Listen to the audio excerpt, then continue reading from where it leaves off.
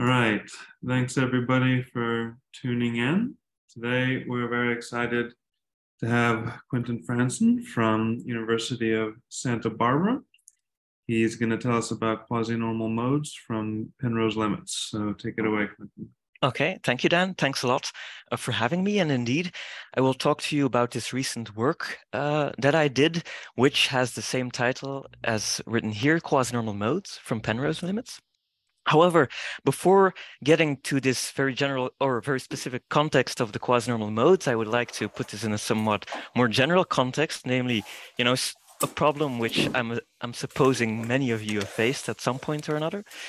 Say I give you some general spacetime, which could be quite complicated, and some linear wave equation on this spacetime. You know, what to do with this, how to approach this. And one way you could do it if the wavelengths are short with respect to the other scales in your problem is you could first try to get an intuition for the problem and approximate it in some way through a geometrical optics approximation, which in general would give to you to leading order some Hamilton-Jacobi equation let's say for the null geodesics of the spacetime and in addition you would get some transport equations along this null geodesic uh, for some subleading orders or perhaps how the spin evolves. And the idea of what I would like to do is try to understand this from a more space-time perspective, because if I give you such a null geodesic, let's say one of these leading order solutions to this Hamilton-Jacobi equation, there is a procedure by Penrose, known as the Penrose limit, which gives you from this null geodesic within this space-time a plane wave space-time, which is a lot simpler and on which you can also consider the wave equation and the idea will be that this captures essentially, uh, at least uh, to first subleading order, the geometric optics approximation and provides uh, a space-time perspective on this. And so this is essentially the plan. First, I will talk to you about some of these aspects of this uh, space-time perspective, namely how this Penrose limit works, what these plane wave spacetimes are, in case you're not familiar with them. And then I will, instead of formally trying to match the two, I will uh, apply this specifically to the problem of quasi-normal modes, quasi-normal modes, which are the free, let's say, perturbations on a black hole background and which are being observed and now through gravitational wave experiments. Although, just to emphasize again, I will only be looking at them in a high real frequency approximation, namely uh, the limit in which the geometrical optics approximation uh, is supposed to be valid in the end, of course, I will end with some conclusions and I will try to convince you that this is actually a very useful perspective to have on this geometrical optics limit.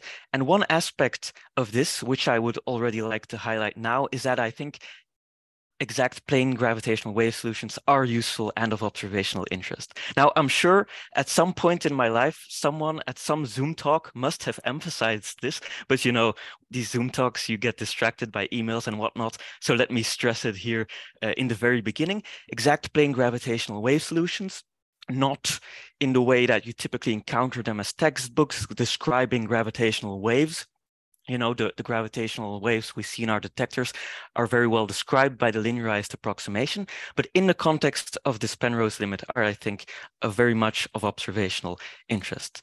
Okay, so having said this, uh, let me not apologize for starting with some textbook material because I'm not very familiar with the audience and it's always good to refresh a bit. And also, I like very much uh, a particular sentence which Misner, Wheeler, and Thorne use to introduce the plane wave spacetimes, which is that they are a compromise between realism and complexity. And I think they're indeed a very good compromise between realism and complexity. So uh, I don't quite use uh, the, the, notation anymore of Misner, Wheeler, and Thorne, but a plane wave spacetime, you might write it down as this. This is sort of uh, the most natural thing. The ansatz, I think most people would write down if they're familiar with linearized gravitational wave um, transverse traceless perturbations. Namely, you have some u and your v, your, uh, let's say, retarded and advanced coordinates let's say t plus the propagation direction maybe we can call it z, t minus the propagation direction. And then you have these transverse coordinates y and this gamma providing you some information or containing sort of the information on your gravitational wave. So these are known as Rosen coordinates, um, but I won't actually use typically the plane wave spacetime in these Rosen coordinates. Rather, uh, I will always be writing it in Brinkmann coordinates, in which uh, sort of the non-trivial aspects of your gravitational wave, the way it deviates from flat space, is encoded in this A, A, B. So just to reiterate, this little a and little b run over the transverse directions, which are these x a and this xb and then you have u sort of the coordinate along the plane wave so you have the change in the profile. This a is the still dependent on u and that's quite important. So generally i will often suppress this uh, this dependence but just important to realize that most things will still depend on this u coordinate and then you have v which is uh, you know associated to covariantly con co covariantly constant vector in this spacetime now, the relation between the spacetimes, given that uh, I won't really use the Rosen coordinates, is not very important, but let me quickly uh, show it for you anyway. So you have some type of uh, frame field to trivialize, let's say, this, this transverse metric. And then in order not to have the cross terms because of this U dependence, this has to satisfy some additional properties. And specifically, if I can point your attention to this right corner, there's some type of harmonic oscillator relation uh, with this E, and then what acts as the frequency matrix, this uh, A uh, of uh, of the Brinkmann coordinate spacetime. And so the fact that this is sort of a harmonic oscillator equation, oh, maybe to say the dots, given that the, the dependence of these functions is always on u, the dots mean derivatives with respect to this u. And the fact that this harmonic oscillator equation shows up is sort of one of the key features of why these are nice spacetimes, these plane waves, namely they are in a very real sense the harmonic oscillators of spacetimes. And so if physics is indeed mostly about understanding harmonic oscillators. I think it's always a good idea if we can uh, reformulate our problems in terms of these harmonic oscillators. Plane wave spacetimes are the harmonic oscillators of spacetimes, which concretely means if I look at the null geodesics on such a spacetime, they're governed by the harmonic oscillator equation. So for these transverse coordinates, of course, you also have the other coordinates, but they're sort of trivial once you're able to integrate this equation. If you look at the wave equation, let's say here just uh, a scalar wave equation where I've separated the v coordinate, which is uh, which you can always do because it's uh, covariantly constant, and this PV associated momentum uh, essentially plays the role of your Planck constant in what how this wave equation is essentially the quantum harmonic oscillator. And then also on the level of the isometries of the space-time, this is the, the Heisenberg algebra. And so also just as a whole, you can think of this space-time as uh, the harmonic oscillator of space-times. Now, okay, if you're familiar with the concept, you can also rephrase this into saying that the plane wave spacetime is the Eisenhart-Duval lift of uh, the harmonic oscillator. So if you're not familiar with this concept, it's not really important. But the idea is that if I give you some simple dynamical system with some potential V, then I can always rephrase the problem in terms of this type of geometry where the null geodesic equation is essentially giving you solutions to your uh, dynamical system. And so for the harmonic oscillator, this would be the plane wave spacetime. Now, in general, the plane wave, the spacetimes you get from doing such an Eisenhart-Duval lift might not be the most interesting spacetimes, but it is true that if then I would give you a null geodesic in such an Eisenhart-Duval lift, you could say, well, as in the dynamical system, I could do some perturbation around this null geodesic and my dynamical system around uh, this solution would look like a harmonic oscillator. And so you have a reduction from this uh, null geodesic in the Eisenhart-Duval lift of a more general dynamical system to the plane wave spacetime. And in fact, even for more general spacetimes, which perhaps I cannot write as such an Eisenhart-Duval lift, there is such a procedure where if I give you a null geodesic, I can take a type of limit, zooming in on this null geodesic and getting a plane wave spacetime. And this is exactly what the Penrose limit does for you. So this is a, a quite uh, old concept. And this is really why I believe that uh, aside from being very simple, the harmonic oscillators of spacetime, these plane waves are also actually quite useful and there's some connection to realism because there's always uh, this limit where you can get from a potentially very complicated spacetime to such a plane wave given by the Penrose limit. Sorry, does that oh, yeah, please. Duval lift uh, automatically satisfy the Einstein equation? No, No, no. So this is why, in general, I don't. I mean, I'm not. Uh, I've never worked with these things, but in general, I don't think you natu- you automatically get a very nice space time. So in general, this might not be uh, a natural thing to do or or a useful thing to do. Okay, thanks. Um, Oh, oh, by the way, I can, because you asked the question, right? You can also ask in this terms of Brinkmann coordinates, when does this guy satisfy the Einstein equation? And uh, specifically, the vacuum Einstein equation will require this A matrix to be traceless. So I will, I might mention this later, but so if you would want to know, uh, if you have vacuum Einstein equations, this uh, A in the Brinkmann coordinates is traceless. Okay, good. So there are several approaches to the Penrose limit. Uh, the one I will present to you and which I quite like is an approach by Blau, Frank, and Weiss, which essentially tries to rephrase what exactly this Penrose limit is in terms of Fermi normal coordinates based on the given null geodesic, which is the required input to take this Penrose limit. So Fermi normal coordinates, in general, the idea is that I give you some geodesic. Typically, they're introduced actually for time-like coordinates. So let's say, well, a time-like geodesic, uh, and you uh, make your coordinates such that uh, the Christoffel symbols all vanish on that geodesic. So essentially, uh, you have this coordinate, you have a, you set up a frame along this geodesic, and you shoot out orthogonal uh, geodesics to sort of uh, span the whole spacetime. So for this point x, you would connect it to this time-like curve with a geodesic intersecting this curve orthogonally. And, uh, uh, you know, in terms of the frame on this, you parallel transport it along this uh, geodesic, you would construct the coordinates of this x. Now, a similar procedure works for the null case. Now, the null cases are typically a bit more, comp you know, at least a bit more confusing. But so the main difference is, of course, you start with a null frame and you have to be a bit more careful about what you mean with this orthogonal intersection, because, of course, the inner product with sort of the tangent along this line, um, uh, for, it, uh, for it to be zero, or for how exactly this should work, uh, you should use actually the complementary null vector to define what are the orthogonal directions rather than uh, in as in the time-like case, the tangent itself. But otherwise, you can do the same thing. You can uh, define these coordinates and expand the metric in the coordinates in these null Fermi coordinates based on the null geodesic. And uh, to second order, you will get something like this. So the first line is just flat space. So we have these u and these v, the coordinates based on sort of the null directions of the frame you erected on this null geodesic, and then these xa's again being the transverse directions. The first correction comes in at second order, essentially by construction, right? Because the linear order was made uh, to vanish by the choice of coordinates.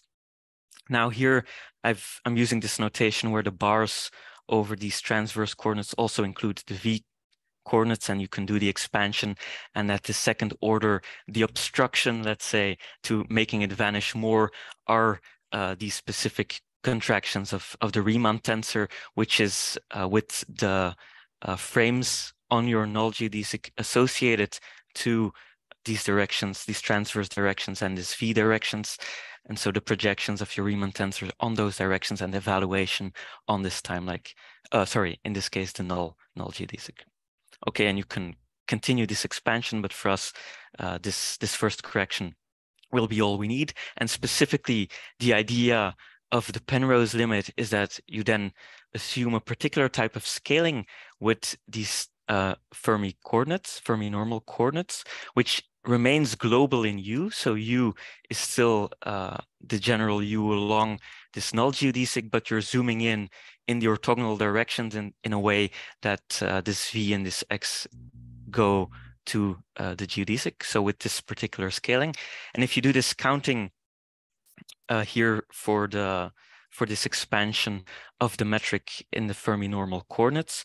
You see that this null piece scales with lambda square. So this is scaled out also here, by the way, comes into the metric. This is the first order, so the first order of this. But there's another piece in the second line, which also scales like the lambda square, which is this first R U A bar U B bar, where uh, if you choose specifically the transverse coordinates. So you pick up two lambdas, the u doesn't scale. And so indeed, this first term uh, is also of leading importance. And this is how uh, you recover sort of uh, the plane wave spacetime from this perspective. And so this is uh, what the Penrose limit gives you. Specifically, and this is important or will be important later, I guess, to make the connection to how you usually view uh, the geometrical optics approximation. And it's the first correction to this is that this matrix A in the plane wave spacetime is determined essentially by the geodesic deviation around uh, the chosen null geodesic.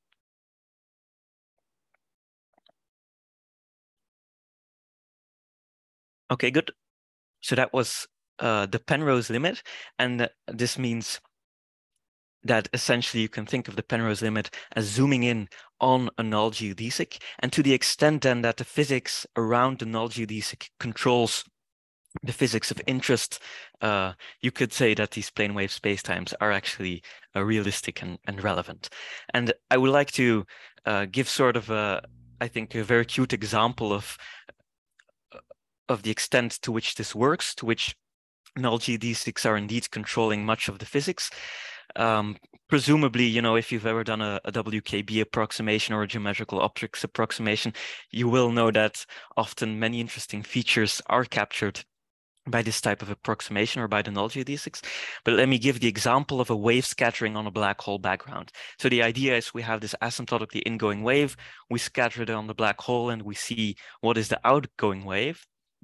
And if you then ask specifically about, you know, the, the inelasticity, let's say, how much is the black hole absorbing, uh, then the profile of this um, absolute value of this reflection or what captures this inelasticity for different uh, partial waves. So these L's are essentially determining sort of the angular profile of this uh, of this wave you're scattering.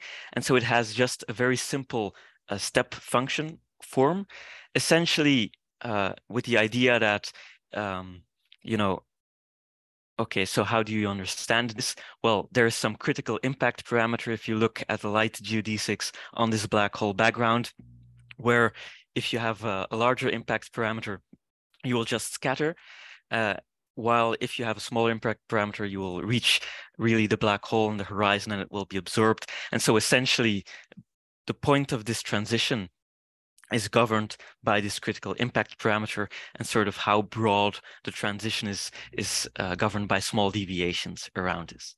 So this is just uh, one example. You could give a lot of how you know you might uh, what could look like a priori difficult aspects of a wave equation, how easily you can understand their qualitative features and much of them with just looking at, at the null geodesics. Okay, so the previous picture was a bit uh, busy maybe, so this is just the same thing uh, for just one specific L mode. So maybe I should have said this on the, in the beginning at the x-axis, you just have the frequency dependence, and so the y-axis is this uh, this reflection coefficient. Okay, so that. oh yeah, sorry. Why that works so well, even at small values of L? Well, it becomes a bit worse. I mean, uh, if you look at this first one where I dotted this line, it's not quite in the middle, and okay, right? So I will show you some plots later for the quasi-normal modes where you can sort of see more clearly how well it actually works. Uh, but it, it is true that it it, uh, it doesn't work as good as you might want it to uh, in the low in the low frequency limit. Uh, yeah, so already in this this third one where actually I drew the lines, you can see that it's sort of not as good as if if you would take this last one where it really looks more you know, centered on, on where the actual transition point is. But qualitatively, the behavior is still very similar. And in this sense, uh, I think it's always a, a, useful approximation to have in mind. Um, okay, good. So, I mean, if I just plot the absolute value, you sort of miss that there's also a, a lot of interesting elastic scattering going on, uh, which you could also often try to understand uh, in terms of the knowledge null geodesics. But I won't go there. Let me instead just uh, focus on one particular example where I would like to apply this idea of the geometrical optics approximation and in, in particular the space-time perspective on it, which are the quasi-normal modes. And if you, you think about the wave scattering problem, uh, then the quasi-normal modes are associated to poles in this R in the frequency plane, where essentially uh, effectively you you get actually that you just have an outgoing wave, which is the quasi-normal mode condition of just being free excitations of this black hole going into the horizon uh, and just going out to infinity. So, okay, this brings me to the actual application. So at this point, I've just told you a bit about the Penrose limit in case you didn't know. I've sort of uh, told you that plane waves are the harmonic oscillators of spacetimes if you didn't know already. And now instead of formally trying to show uh, that this Penrose limit together with the wave equation on it sort of capture the geometrical optics approximation, I will very particularly apply this uh, to the case of quasi-normal modes, quasi-normal modes which have a long history of being understood, at least uh, in some way, in terms of the geometrical optics approximation.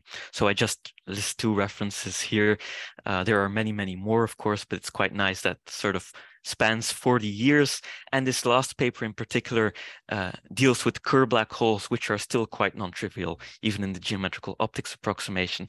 And it's quite nice that uh, uh, well, it's a very good work, but so their their geometrical their geometrical interpretation of this spectrum is in terms of geodesics. I will sort of bring this a bit more geometrical, even in terms of uh, the plane wave spacetimes associated to the Penrose limit along these geodesics. Okay, good. So I will always be working in, in four dimensions for a Kerr black hole, uh, which is, I think, very reasonable. So they're complicated enough uh, that they're not just as trivial as Schwarzschild, and they are actually of astrophysical relevance. I want to just remind you here of the notation. So I will be working Boyer-Lindquist coordinates. So you have the um, the usual time radial coordinate, angular coordinates phi and theta. Then you have the sigma and delta, which are just some functions of r. And importantly, the sigma is still a function of theta. Otherwise, finally, the, the A determines the spin of the black hole. So this is just angular momentum over the mass. And what is interesting when I start trying to apply this whole thing, uh, you know, this notion of using the Penrose limit to understand or as a different point of view on the geometrical optics approximation in the context of quasi-normal modes is that there's always this sense which in the quasi-normal modes, you not only have to be able to solve in some way the wave equation, you also have to tell me how should I impose in this way uh, the boundary conditions, right? So when I show you this diagram, it sort of gives you a prescription of perhaps how to approach the wave equation, but I still need to tell you how we will impose uh, in this approximation the correct boundary conditions, which is outgoing at infinity and ingoing at a horizon. And at the level of uh, first of all, the basis, the basic null geodesic on which you would like to apply this Penrose limit. It sort of uh, seems obvious also in hindsight, because of course, this is what geometrical optics people have been doing for a long time, that you have to look at the bound spherical null geodesics around the Kerr black hole because you don't want them to come from the horizon in the far past. You don't want to want them to come to infinity. You just want them to to have been in the space time, let's say. So it seems natural, and this is also what people do in the geometrical optics approximation to indeed consider these spherical null geodesics, but it has to be emphasized, I guess, that if you would consider a more complicated space-time, something with more structure rather than just a horizon and this asymptotic infinity, of course, there could be more interesting geodesics contributing uh, to your understanding of the quasi-normal modes. And this is, for instance, something that people might emphasize uh, if you have some some additional structure close to the horizon and you get some type of trapped modes which are long lived, then of course you would also have to sort of consider the geodesics going from the light ring to the structure and, and intermediate. So, okay, in general, this choice could be quite complicated. For black holes in particular, it's really the spherical null geodesics, uh, which will be the appropriate choice. And so which we will be using to do this Penrose limit with. So these uh, spherical geodesics, okay, they have some impact parameter and some Carter constant. Motion on a Kerr spacetime is completely integrable. So I, they have a constant radius. Uh, the specific expression for the impact parameter and the Carter constant in terms of this radius are not very important. What is important is that uh, the motion is still quite non-trivial even for this constant r because you still have this nice theta dependence, the non-trivial polar behavior uh, in this Kerr case. Now, the next step, uh, having fixed the appropriate geodesic, is to construct the Penrose limit. Now, in this earlier uh, part, I reviewed how, at least from this perspective of the null Fermi normal coordinates, you obtain the Penrose limit. And the non-trivial aspect of this was finding specific projections of the Riemann tensor along the null geodesic. So to do this, you need some type of parallel transported frame along the geodesic. Um, and this can be quite complicated, but for Kerr, this has been worked out uh, by these people, explicitly exploiting the symmetry structures of the Kerr black hole. And so what I mean when I say this is that essentially you use the killing tensors, the conformal Killing-Yano tensor, and uh, and this type of thing to construct from this one geodesic, sorry, the U this one uh, vector you already have because it's the tangent to your null geodesic, the remainder of your null frame uh, on which you will base uh, your null Fermi normal coordinates and in turn you will use to get this Penrose limit. Okay, so okay, I shouldn't probably have uh, put on the slide all this formula here, but just to, to, tell you, you can do this very explicitly in full generality for Kerr, exploiting the fact that it has uh, this additional hidden symmetry, this conformal Killing-Yano tensor. So you can build up this entire frame. Uh, Kwinten, can I ask a question? Sure, sure, sure. Uh, so uh, this has been worked out in Boyer-Lindquist coordinates? Um, or you mean uh, this frame and well, yeah, you can you can phrase it. You can uh, put it in Boyer-Lindquist. So this original paper I'm referring to is is fairly abstract. Mm, um, okay. in terms of their notation and treating in full generality, uh, you know this uh, this whole type of metrics uh, to which you can you have this type of canonical form of the metric and uh, which admits this type of um, of killing killing structure, but you can work it out and in the paper I've uh, well, okay, I guess I, I haven't given explicitly what what the vectors are because they're they're quite a bit of a mess. Uh, but you can put it in Mathematica and find, yeah, find yeah. No, I was just wondering whether whether it would be. I mean, I was just wondering whether. I mean, if you're saying that really the symmetries and the Killing-Yano is important for that, maybe it would be to, nicer in uh, shield coordinates.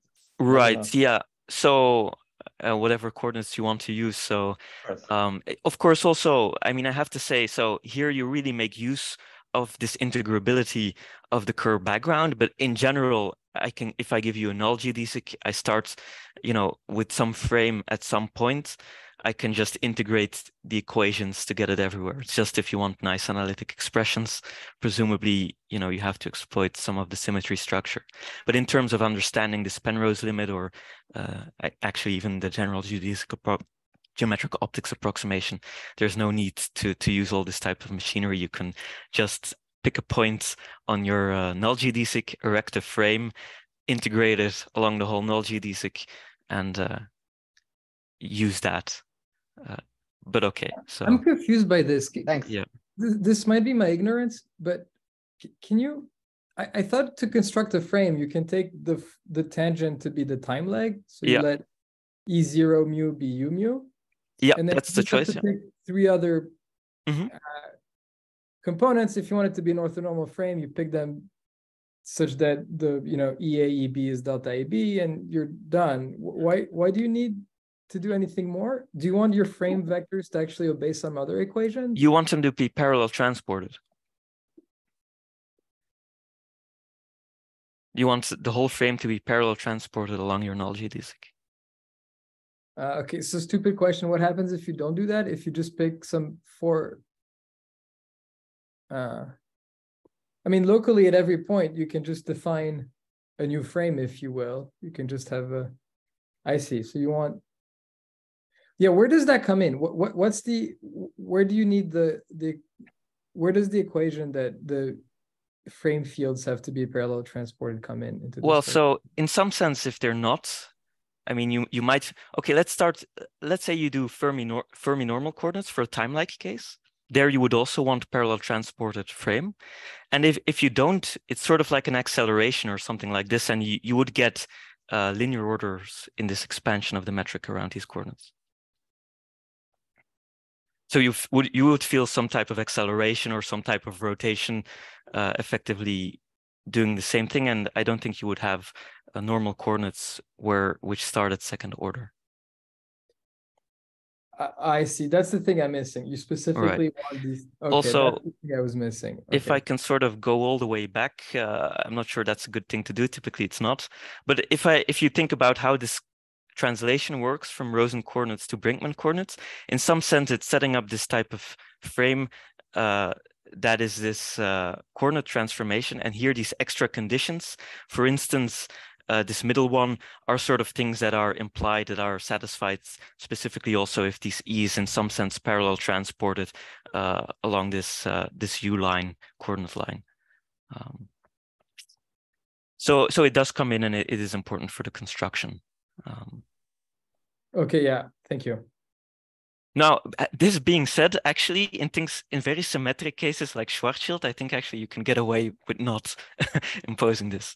Uh, so okay, but in general, it's it's important. Okay, let me see where I was. Um, and and these people have done this so that you can do it in uh, you know nicely constructed analytically with relatively compact expressions. If you want to, if you try to write this out in coordinates, it will become very nasty.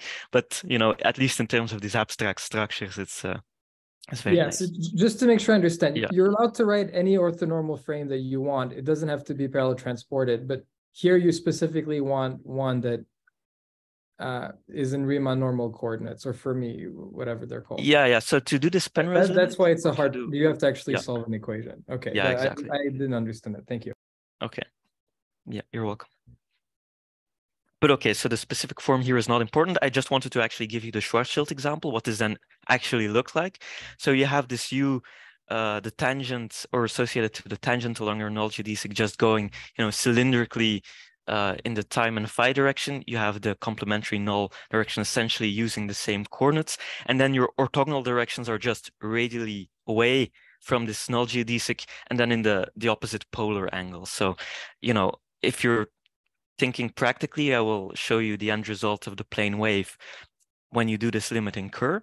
But practically for the equatorial case in Kerr and for Schwarzschild, just to get an impression, what you can think of is as this first coordinate sort of being in the radial direction and the second transverse coordinate sort of being in the other, uh, you know, in the angular direction perpendicular to your uh, to your null geodesic. But okay, this is what you get uh, when you go through all this motion, you construct this frame, you take the projections of your Riemann tensor, then the leading order uh, in this particular scaling of the null Fermi normal coordinates around the spherical geodesic looks like this. It's a plane wave spacetime, and you can very explicitly write down this A matrix. It doesn't look too bad, but importantly, actually this theta uh, that comes in, which is the theta sort of um, of the original non-trivial motion still of your spherical null geodesic is dependent on u which makes the whole problem uh, quite a bit more complicated. In general, it's some elliptic function. And so, uh, so it's a, very easy spacetime. It's a plane wave, a harmonic oscillator spacetime, but it's not entirely trivial. Okay, so now we've gone through the whole construction of making this spacetime. We can finally sort of get to the wave equation on this spacetime and trying to see if we can actually get um, quasi-normal modes from this. So for the purpose of the paper and, and this talk, I've just been uh, discussing, or I will just discuss the massless scalar wave equation.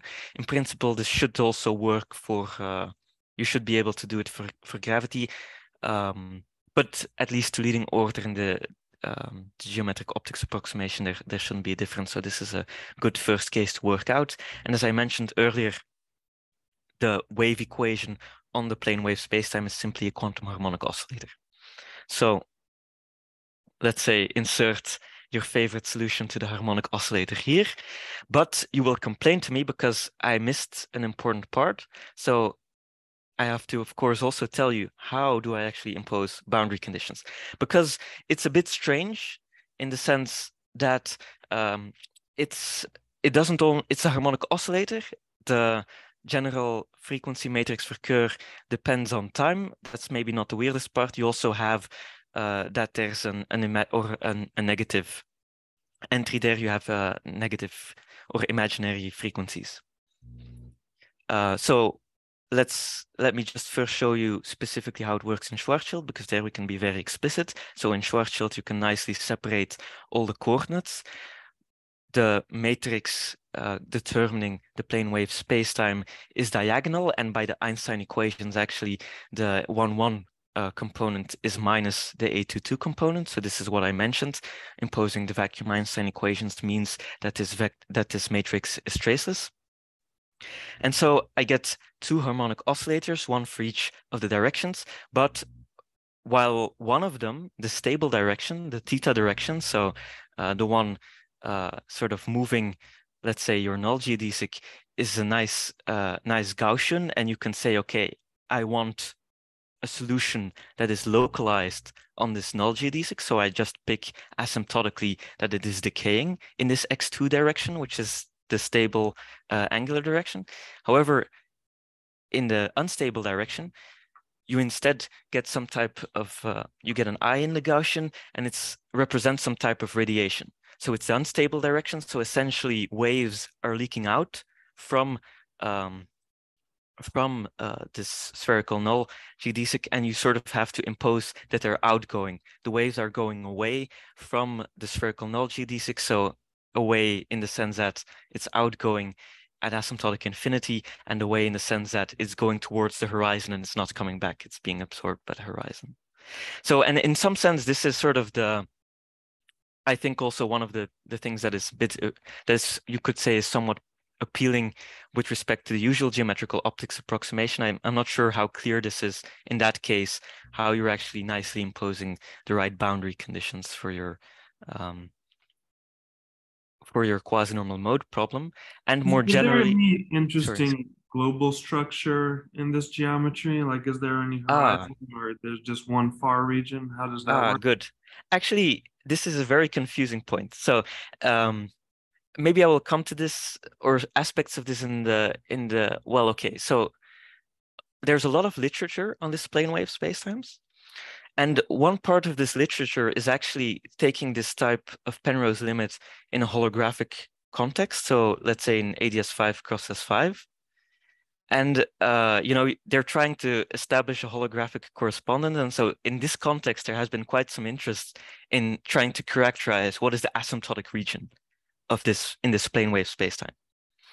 And so in a very special case there, there is a, a, a map a conformal map where you sort of can identify that uh, asymptotic boundary of such a plane wave spacetime is uh, a one-dimensional null line. Um, but exactly how this is embedded or how this works is uh, yeah is quite confusing at least to me. But so people have studied this, and also in a more general context, if you define in a certain way what is sort of the causal boundary of this thing, and it ends up being sort of a, one-dimensional a null line. So uh, you know, uh, okay. Not sure that probably does this, that help a bit. Um, yeah, a little bit. Not, uh, but but okay. This is actually another point I would want to make is that okay, I'm telling you these are the right boundary conditions, but basically it's just telling you about the behavior around uh, this null geodesic. So right to do this properly, actually you would need an exterior zone match to these boundary conditions and show that indeed you can do this matching such that you have in the actual regions sort of the right boundary conditions into the horizon and out to infinity. And so I think, you know, there's there is some global work that could be done here in terms of making sort of the the approximation relevant in the, the all the separate regions that are actually needed to impose the right boundary conditions and uh, perhaps when you're thinking about going beyond the sort of leading geometrical optics approximation, there would be a non-trivial interplay between those regions where you do have some type of backscattering and you have to take this into account and have some more non-trivial boundary conditions. But at least uh, to this first subleading order to reproduce um, the results of the geometrical optics approximation, this seems to be the right choice. and I think this is quite intuitive.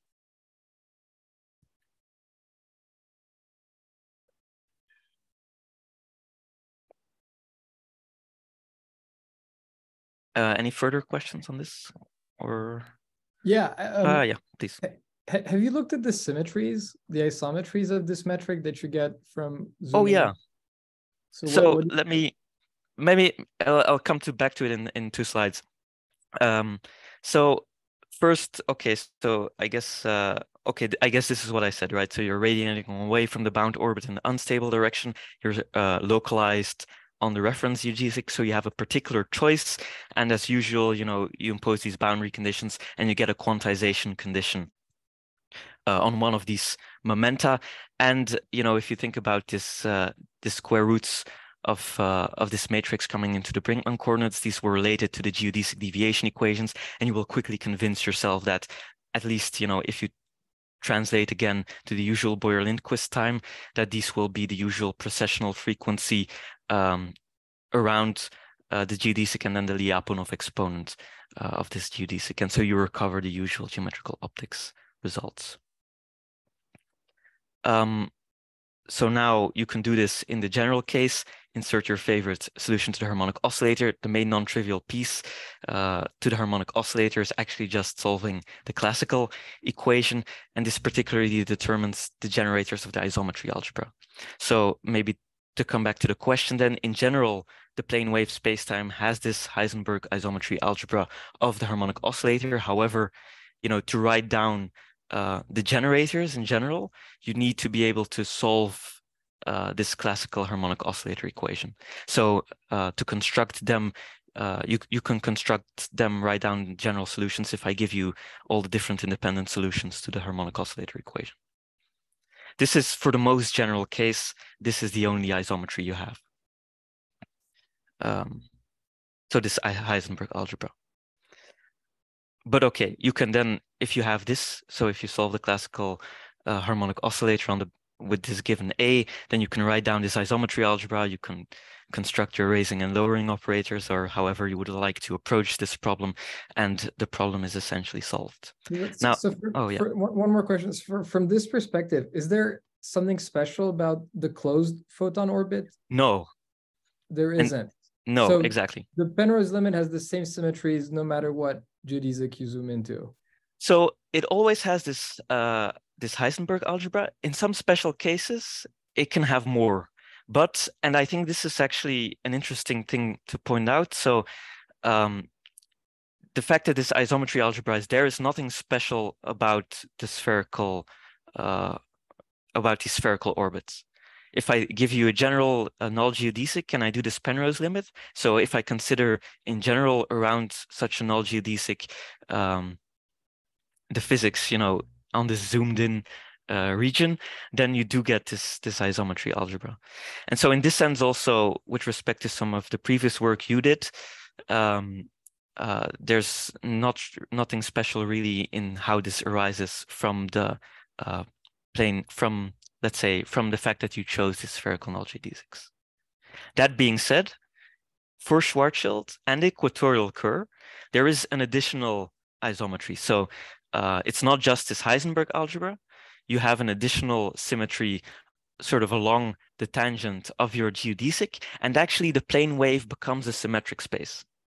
So maybe to come back to first uh, sort of uh, let me uh, gather where I was, right? So I didn't want to really solve or go through the details of how you explicitly solve uh, this harmonic oscillator. I assume, you know, you can do this. It's just a bit messy for Kerr. Uh, but I do want to point out some special aspects, and one of them is that uh, for Schwarzschild, or if you take Kerr in the equatorial case, this matrix A becomes a constant, and the plane wave has more than just this Heisenberg isometry algebra. Specifically, it becomes a symmetric space. And so you know, if you're sitting in the audience and you very much like what you can do in anti de Sitter, let's say, you know, exploiting all its symmetries, but you think, well, maybe uh, this is not the thing that will bring me closest to experiments, I would highly urge you to consider another space which is essentially asymmetrical. It, it's a nice uh, symmetric space. It's you have a, a form and whatever. Uh, for it. And it is, I think, very relevant for observations because it, it captures, for instance, the physics near the light ring. Okay, so another interesting limit is if you're uh, familiar with this, if I take my Kerr black hole and I take the spin to extremality, this near horizon region develops, which has an emergent symmetry, so has more symmetry than just uh, the Kerr black hole. Oh, sorry. Specifically, it has an SL2R cross cross U1 uh, enhanced symmetry, and uh, the null, the co-rotating null geodesic is within this near horizon region, which has this additional symmetry. And so uh, within this limit, you have more control of your wave equation in any case, even before doing any type of geometrical optics approximation. And you can very nicely see how um, when you look at the at this at these general solutions, you know, within this near horizon region, and then you sort of uh, try to expand around this geometrical optics approximation or this Penrose limit and see how this emerges, you can very nicely see how this happens and how the symmetries of this full near horizon region contract uh, to the Heisenberg algebra. So, but there's no statement that taking the Penrose limit of the co-rotating photon orbit gives you NHEK. It's you started off on NHEK. Okay. Yeah. So you um you don't get get NHEK NHEK in full. Um, it's just a, an, a nice setting where you can sort of because you have more control, as you undoubtedly know about the full wave equation, you can sort of more nicely see how it happens that this near horizon region, or sorry, the, the near photon ring region emerges from this full solution.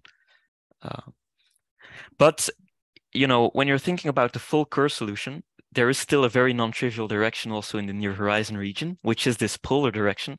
And this is the same type of non-trivial aspect you still have for the full photon ring region around the spherical orbits in a Kerr black hole. So in this sense, you know, uh, both cases are, you know, somehow having still this uh, this difficult direction. And so you don't gain too much from looking at this um, Penrose limit in the near horizon region as opposed to the Penrose limit in the Kerr black hole. On the other hand, that's that's the reason why it's interesting, right? I don't have to care, you know, I don't have to find a near extremal black hole in the universe for this uh, to be an irrelevant, relevant type of analysis.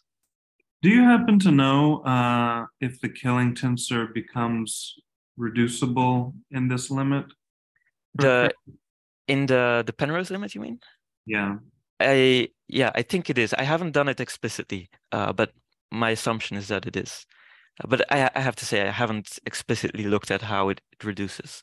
So. Uh, but you yeah, think you could write it in terms of the Heisenberg uh, isometries? This is what I would think. Yeah, that we would also have some type of uh, reduction there. Yeah. But okay, so I haven't done it explicitly, so I don't want to say it with full certainty, but I, I, I think this is fair. I think what we're all after is understanding what are the killing vector fields of these geometries. So if I understand correctly, there's always at least two okay, associated okay. with a plus and a minus. Let me. There's always at least one. I'm sorry, I'm going back, uh, but it's really the the type of symmetries you would have in a, in a harmonic oscillator. So okay, so you always have the v direction. So this is covariantly constant in this background. Uh, you always have this guy, so the partial v. And then the other ones, QA and PB, um, I haven't written them down explicitly here. I, I, maybe I should have, but you you have a construction of them. If I give to you solutions to this classical harmonic oscillator equation, um, so I, I can give you a reference. But so there, in general, you know, if you have an A which depends on oh, you non So the Heisenberg algebra has A plus, A minus in the identity, and the identity is like dV, and then there's two others. Yeah. Yeah. I see. For, each, when, two others for each orthogonal direction, uh, I guess. So if you're in say Schwarzschild, then you the AIJs don't depend on you, then you also have DU. Exactly. That, that's that's exactly. The, so you get one extra guy. Yeah, and that's what makes it into a, you know, why it's uh, this enhanced symmetry. Yeah. And what is the I, algebra? Does I guess the DU commutes with DV? Does it commute with Q and P? No, no. Um, it doesn't so commute with them. No. Um, so what's it acts sort of like the like a Hamiltonian with respect to them. So sort of, uh, I guess if you act on Q, you would get a P, and if you act on P, you would get uh, this A matrix times Q, something like this. So it's um, like how you would, you know, do a Poisson bracket with your Hamiltonian with respect to your position or your momentum. Yeah, Um, so so you're saying in that case you get one extra killing vector field, and if you're in Kerr, there is no extra killing vector field. yes, You have that discrete symmetry. the- yes, the periodicity. Okay, thank you. that's my understanding in any case. Yeah. And so this uh, algebra you have wherever you take your Penrose limit. Um, okay. Okay, so sorry for skipping all the way back. Um, I was just gonna tell you about the generic case then. So, okay, you had these special cases for the generic Kerr.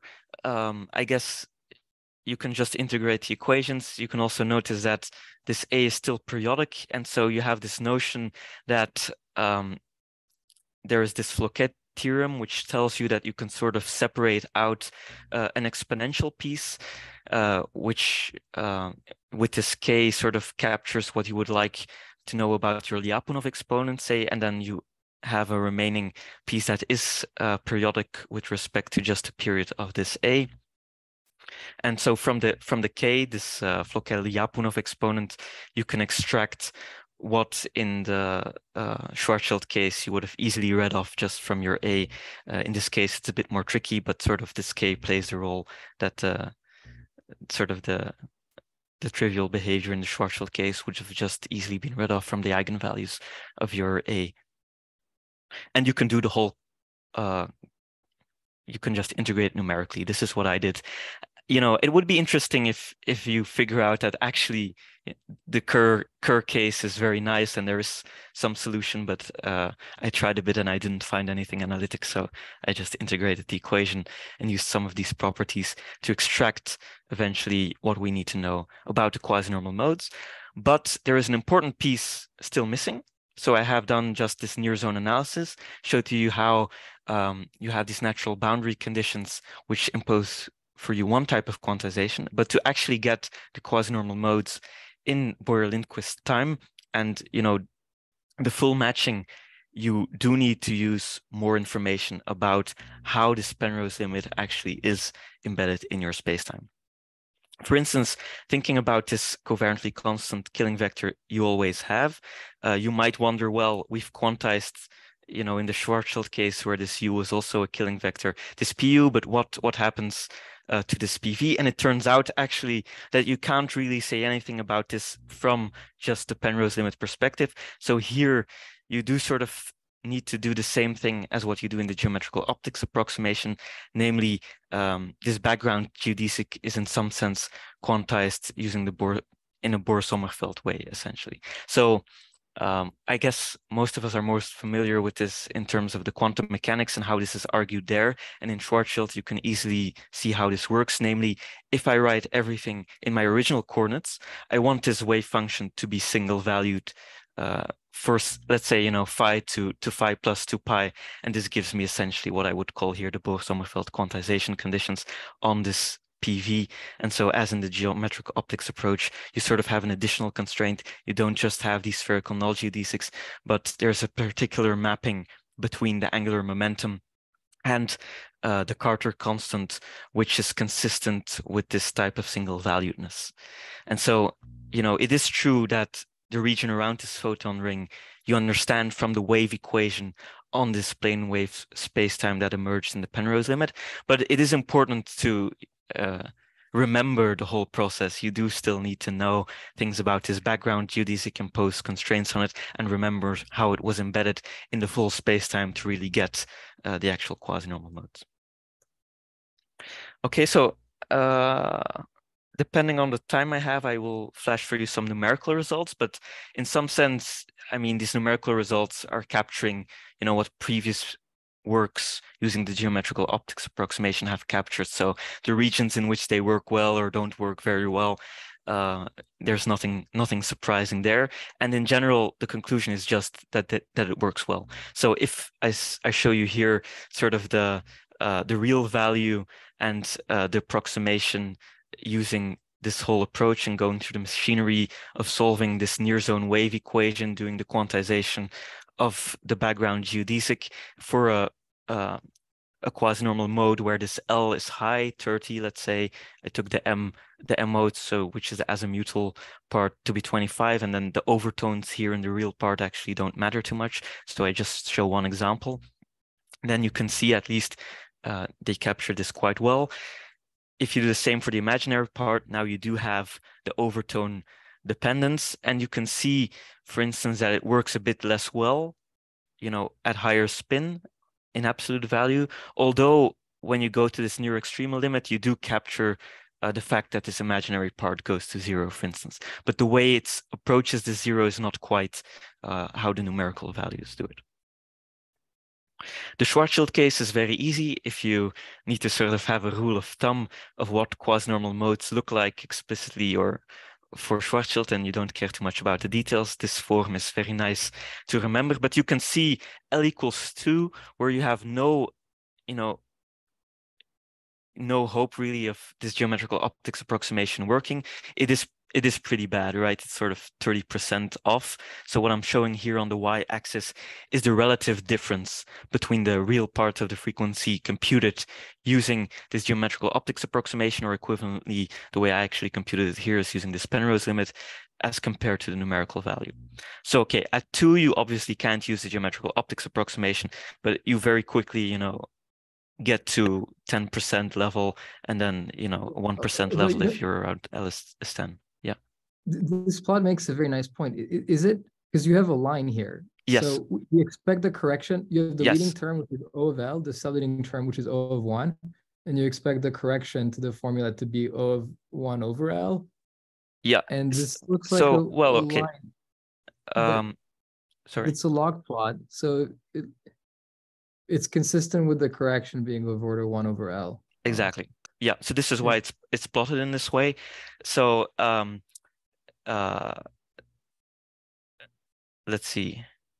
Actually, so because it's this this relative thing, so what you capture, you capture the first, the leading order and the first subleading order. So this line actually goes like L to the minus two because you're taking the relative thing. But essentially what you said is true.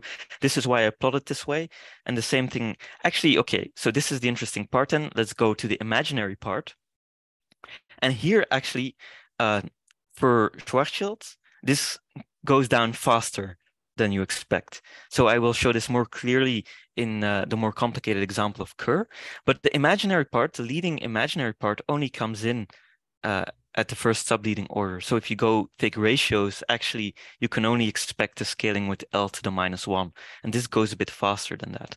So let me maybe, you know, in, in view of time, the, the previous ones are just for the n equals to zero, so the fundamental. In general, if you look at higher ends, at least for the real part, it's clear that sort of the approximation becomes worse, but the, the scaling is still as you expect. In the imaginary part, okay, there's some transient behavior, but in the end, if you go to high enough n, indeed, sort of the, the approximation becomes worse.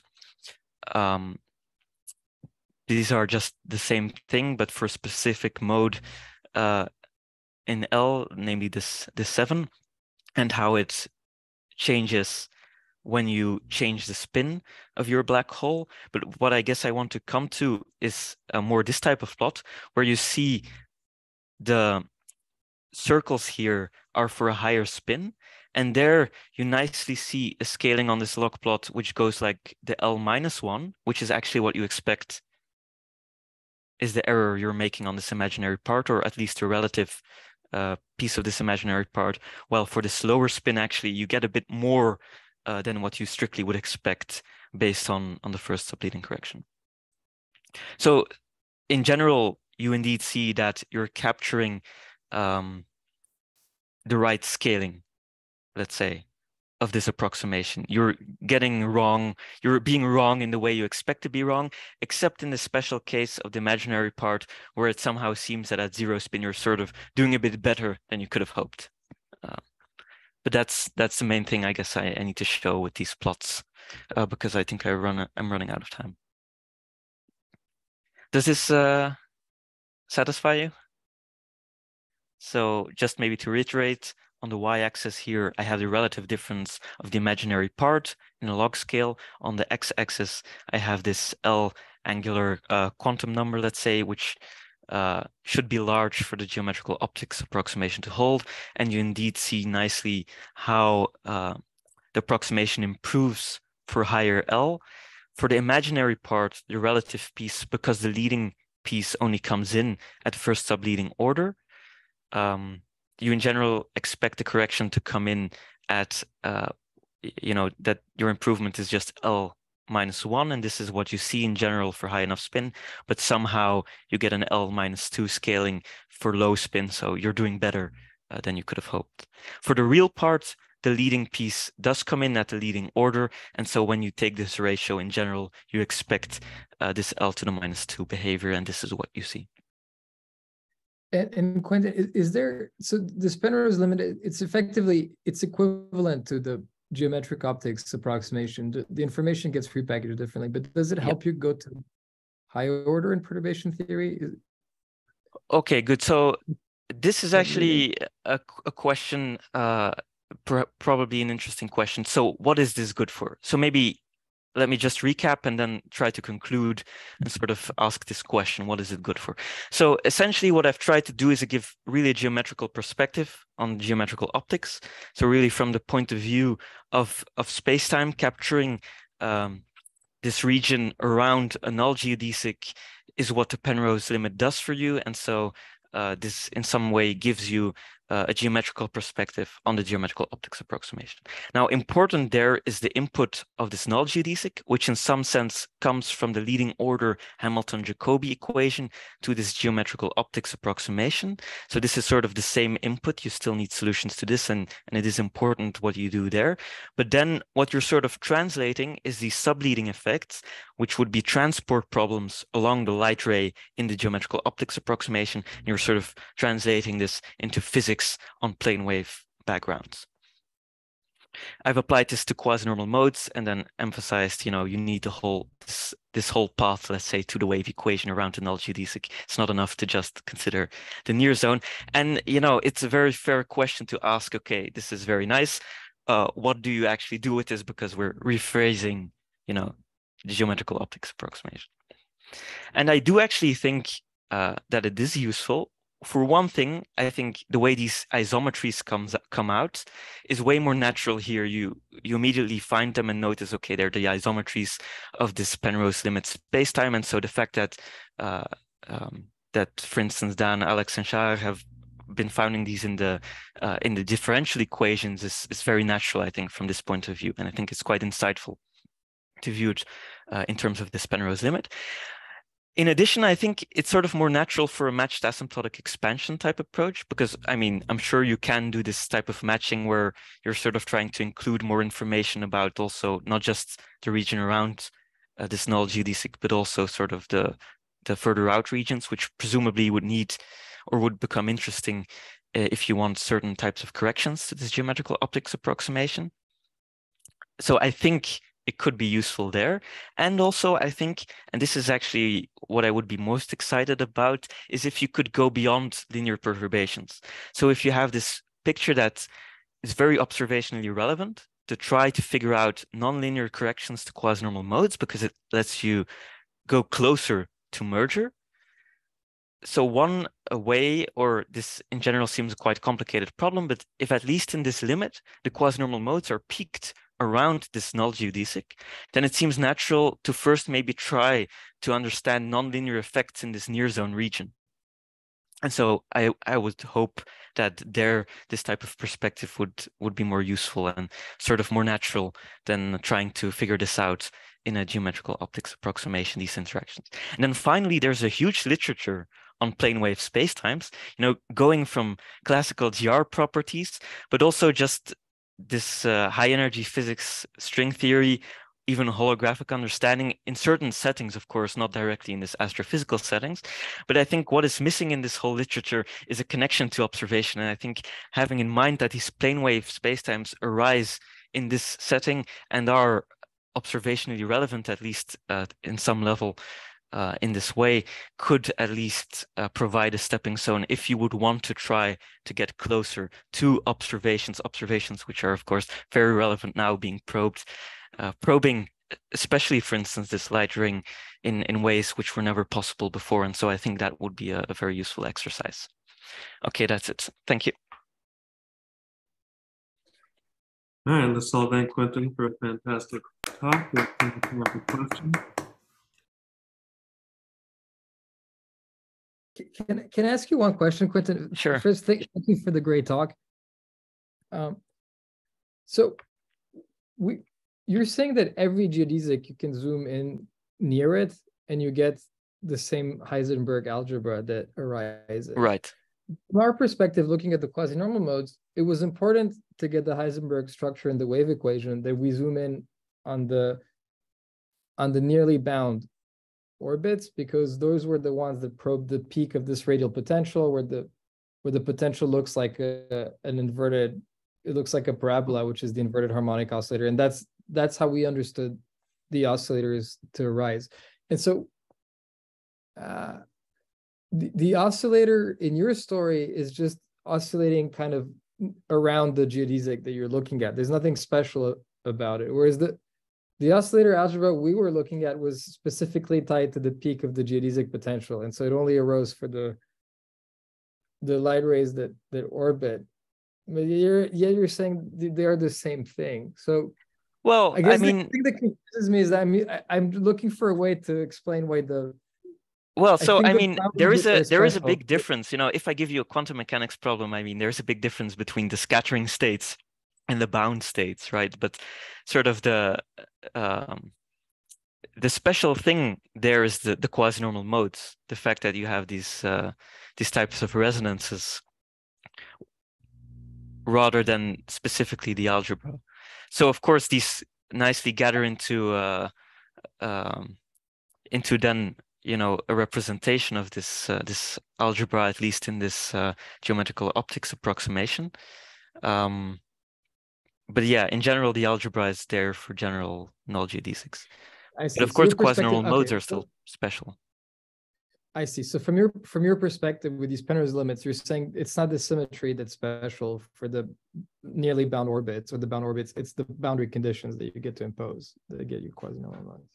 Yeah, in some sense, the fact that you you're discretizing this, right? You don't have a continuous spectrum like you would you like you would often have if you just picked, you know, if I picked a, a random null geodesic. Um,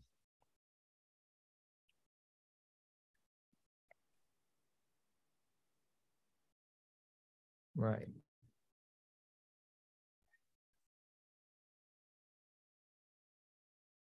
Can I ask a question? sure. Uh, so Kwinten, thanks for the great talk. Um, so I wanted to ask, so there's, uh, it seems to me like in in the in the quasi-normal mode, the community now, people are also like thinking about non-linearities now, right? And uh, like whether they're really important uh, to understand the signal and the, how how far back towards the merger you can go, uh, etc. But uh, like another issue that came up is the issue of overtones whether it's important to take into account their excitations and uh, so th- does this perspective shed any light on that on that question Well, so really uh, like yeah Yeah, so you might imagine also trying to get a you know, at least a context in which you sort of have more control over this excitation. Yeah, I think this might be something you could try, right? Add a source, you know, what does it mean if a source goes through this photon ring? What is this from the perspective of this Penrose limit? And how is this exciting uh, these these modes in this in this limit? I think perhaps this would also give a useful uh, sort of playground for this type of question there. Yeah, but uh, um, but uh, basically but your people view of the studied overtones is uh, ah, sorry Well, I guess people people are now extracting this from full numerical relativity solutions, right? Whether whether or not and to what extent they're excited. And of course, you couldn't do better than this. But if you would want some more analytical control, perhaps uh, would be interesting. right but pe- but people are it seems to me like people should, uh, like by the question of whether these overtones are even stable in the sense that you perturb Ah, the effective that's a different question. that, Exactly. yeah. Yeah, and um, so that's quite a different question, and I think there are two answers to this. One of them is, uh, I guess, the the criticism that is often given to this geometrical optics approximation being that the fact that you get this from specifically the spherical null geodesics is very special to Kerr, right? So if I, you know, modify this a bit, then I can get a completely different spectrum and they're not no longer associated specifically to the spherical null geodesics. Uh, so, so I guess this is this can be one uh, answer to this. Well, okay. basically, in your picture, you would need to take a Penrose limit around some other geodesic. or depending that. on the type of corrections you're looking at, yeah, either looking at different geodesics or being more serious about this matched expansion, right? Mm. Being more serious about the fact that you need to perhaps have less naive boundary conditions on this photon ring rather than just outgoing. Because perhaps before you get to the horizon, there is some further backscattering and I have to do some non-trivial matching to actually find the right boundary conditions. And from this, for this, I think the Penrose limit perspective here is also more useful, or at least it seems to me easier to do this with this Penrose limit perspective rather than from the geometrical optics approximation so that's one way you could you could think of incorporating this type of thing.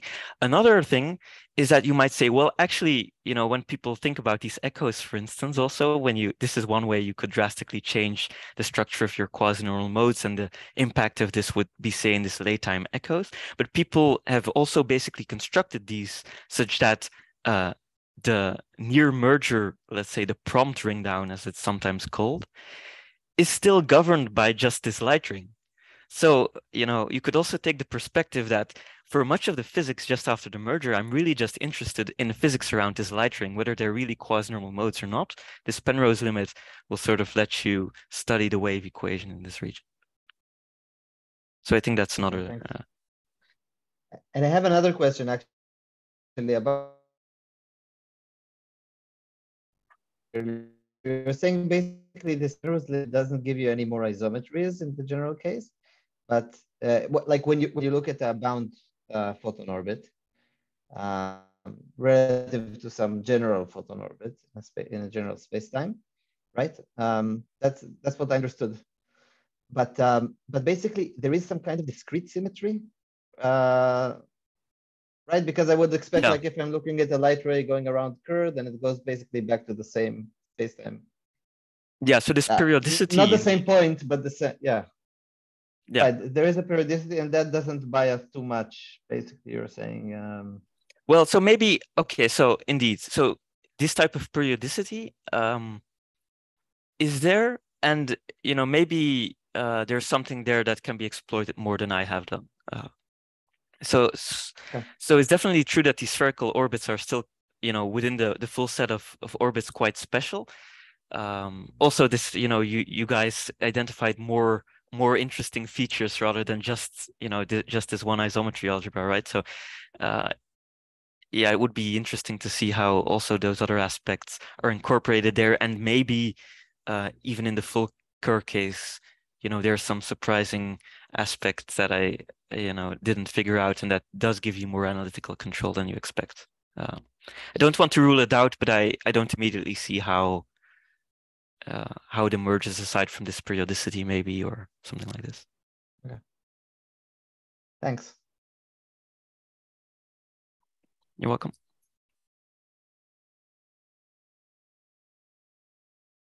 All right. If there are no more questions let's thank Kwinten again. Thanks for the great talk. I'll thanks for having me. stop the recording. Thank you Kwinten. Bye. Bye